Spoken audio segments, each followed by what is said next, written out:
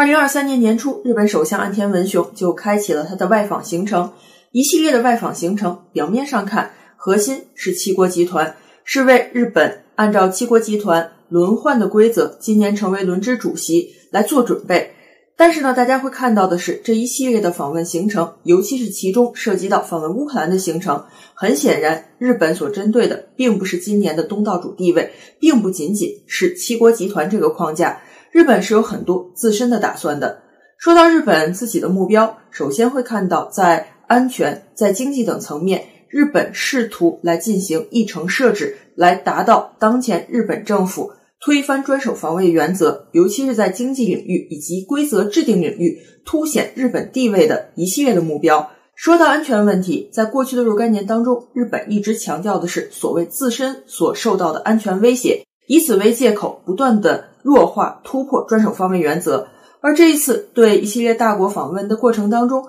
日本更加强调的是，希望当前在安保政策上的巨大的变化，其他国家能够给予支持，能够给日本开绿灯，在国际社会上要营造出所谓更多的支持日本的氛围，这才能使日本政府放开手脚，包括最终修宪的目标都在预设的目标之内。那么，对于乌克兰进行访问，从乌克兰危机来投射到亚太安全问题，也是日本惯用的手段，以此为自己的安保政策的转向，为突破战后国际规则来制造更多的契机，寻找更多的借口。那么，另外呢，对于这次的行程，日本媒体很明显强调的不仅仅有安全问题，还有经济问题。其实涉及到经济问题，经济问题安全化，经济与安全相联系。也是日本惯用的一些手段。其实，在此前呢，日本就就经济问题发出过一些信息。在日本看来呢，日本与其他国家之间的经济联系似乎呢，日本是无害的。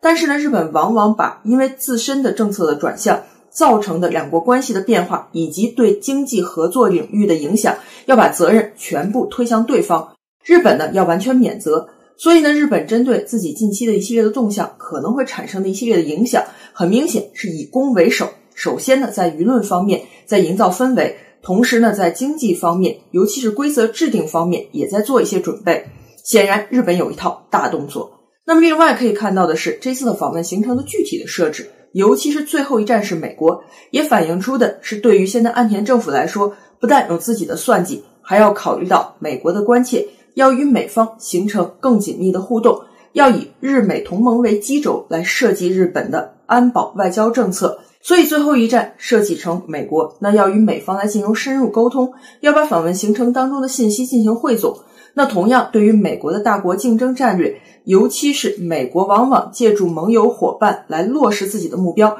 日本是有配合的意图的。大家肯定还会记得，去年美国就利用。七国集团的轮值主席推出了在基础设施建设方面的替代性的方案，是作为大国竞争的手段之一。那么今年当日本成为东道主的时候，美日之间在互动的过程当中，日本仍然会帮助美国落实美国的一系列的计划。